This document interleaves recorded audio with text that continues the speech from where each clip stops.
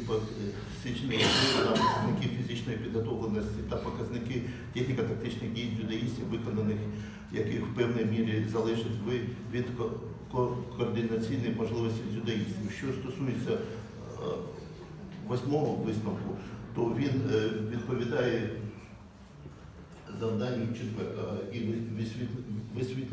основні напрямки реалізації розвитку ветеранського дідоборства в Україні, Е, тобто практичну реалізацію отриманих результатів досліджень. У, у провед- у проведенні досліджень, до- дослідженнях не використовували